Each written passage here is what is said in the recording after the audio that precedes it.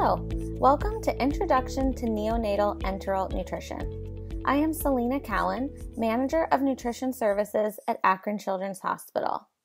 I am also the current chair of the neonatal section for ASPEN, the American Society of Parenteral and Enteral Nutrition. I have no financial or commercial disclosures. Upon completion of this video, the learner will be able to assess neonatal nutrition status and growth, identify enteral feeding substrates and their benefits, describe considerations in enteral feeding progression and protocols. There will be a full list of references at the end of the presentation. The role of the neonatal dietitian in enteral nutrition includes the following assesses nutrition status, determines nutrition needs, monitors and assesses growth, determines optimal enteral feeding substrate and calorie concentration, and manages enteral feeding advancement. First, we'll talk about nutrition assessment. Weight, length, and head circumference are typical anthropometrics used to assess neonatal nutrition. Weights are often measured daily, while head circumference and length are often measured weekly. All infants lose weight after birth and often have regained their birth weight by 7 to 14 days of life. Typical weight gain goals for infants are as follows 15 to 16 grams per kilo per day for infants under 2 kilos, and 25 to 35 grams per day for infants 2 kilos and greater. Plotting anthropometrics on a growth chart is an important tool in nutrition assessment. For infants born at 36 and 6 sevenths or less, a preterm specific growth chart should be used, such as the Fenton or Olsen growth charts. The goal with growth is to help infants maintain their own specific curve. This means avoiding plateaus as well as rapid and excessive gains. Literature shows that both poor and excessive weight gain can have negative health impacts. When assessing neonatal nutrition, it is important to be aware of potential malnutrition.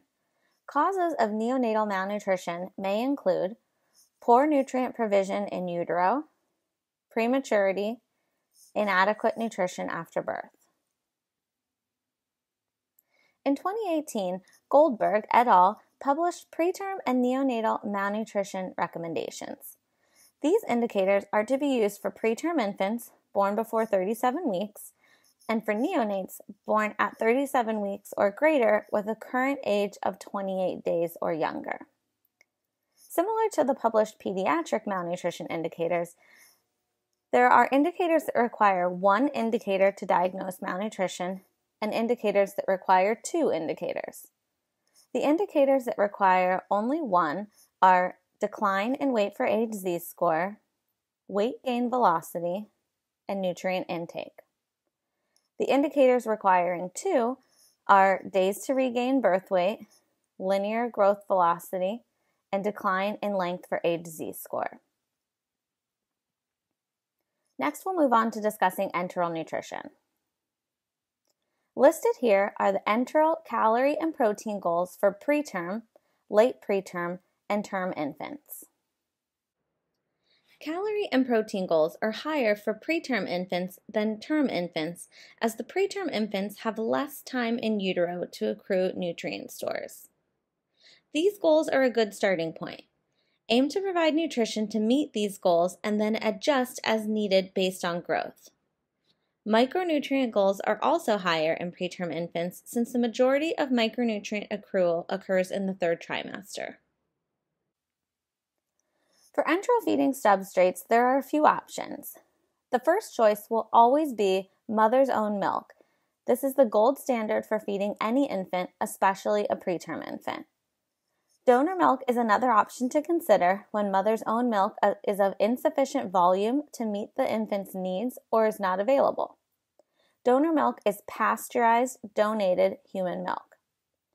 It's important to note that while it can be a good option, it is not equivalent to mother's own breast milk. Infant formulas are also options. There are many varieties of formula available.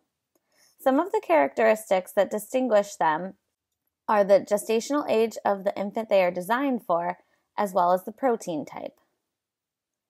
Human milk, including mother's own milk and donor milk, are the ideal options when available.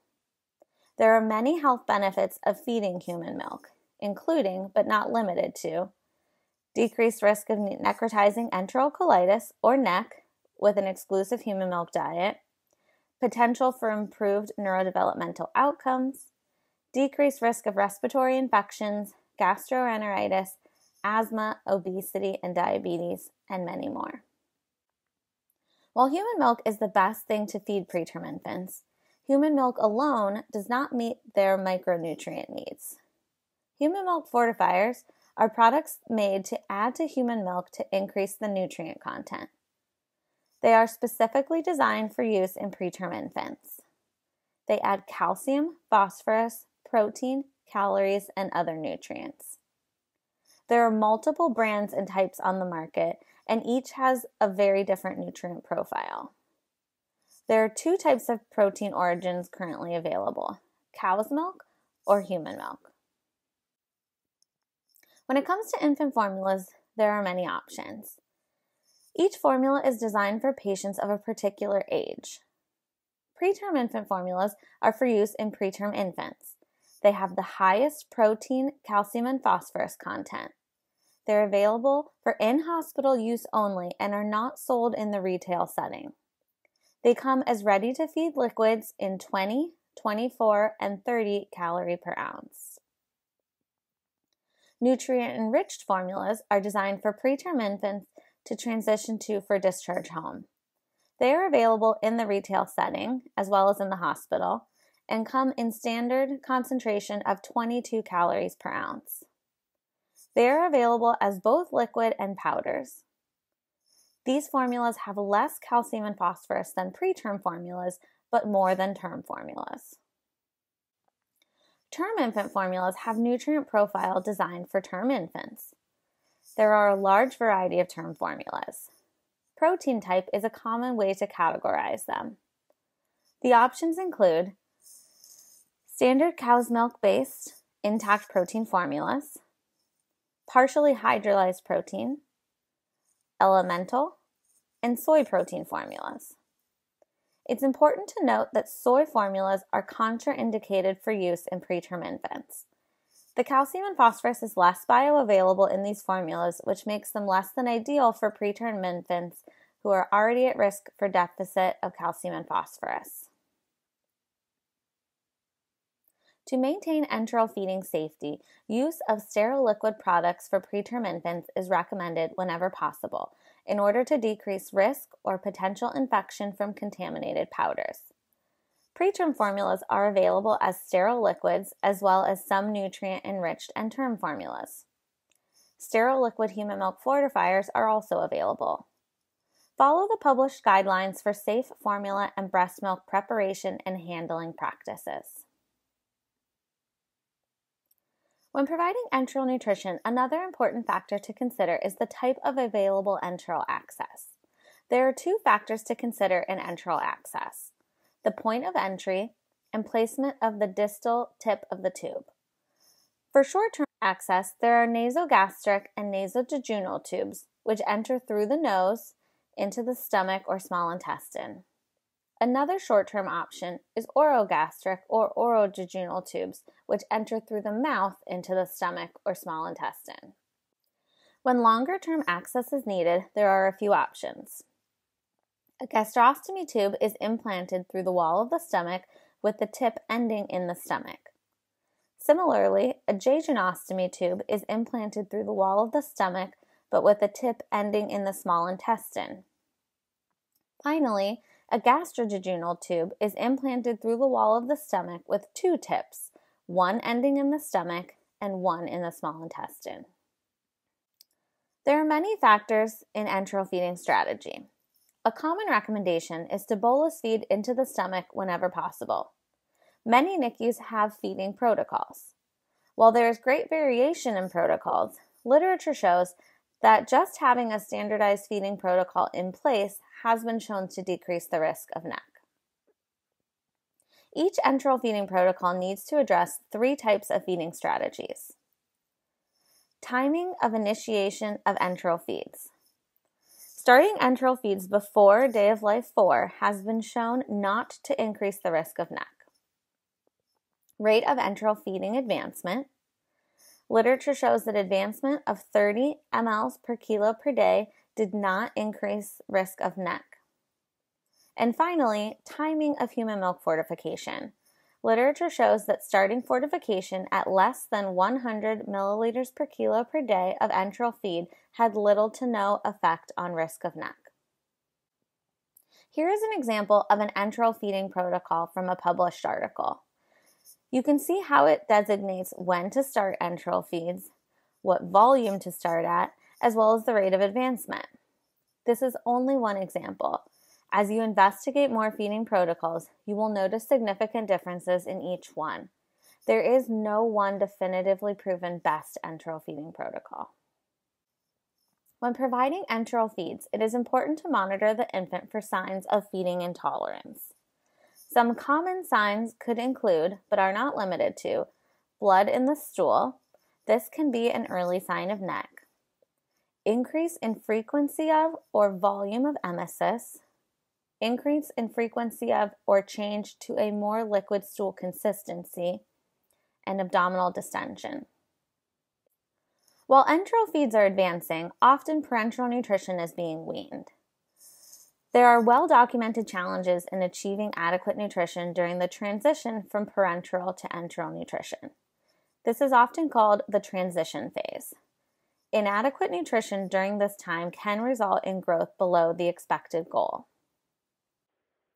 There are some ways that nutrient delivery can be improved during this transition. One way is to increase the rate of advancement of enteral feedings, aiding in reaching the enteral feeding goal quicker.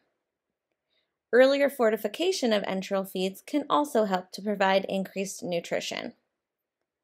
Another strategy is to concentrate the contents of the parenteral nutrition as much as possible as the volume of parenteral nutrition decreases. This allows for maximal delivery of nutrition in the decreasing volume of parenteral nutrition. In summary, the neonatal dietitian plays an important role in optimizing nutrition delivery through enteral feedings. Some takeaways to remember in practice include the following Assess growth using anthropometrics frequently, at least weekly. Neonatal specific malnutrition assessment indicators are available. Preterm infants should be plotted on preterm specific growth charts.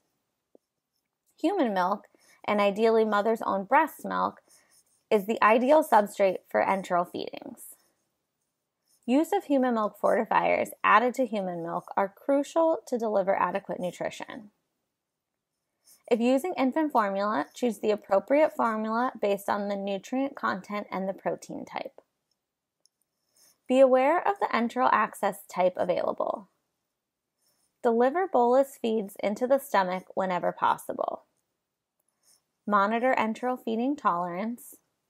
And lastly, optimize nutrition during the transition phase. Here are the references for this presentation. In closing, this educational offering was provided to you by Aspen and supported by an educational grant from Reckitt Mead Johnson Nutrition. Thank you for joining us today.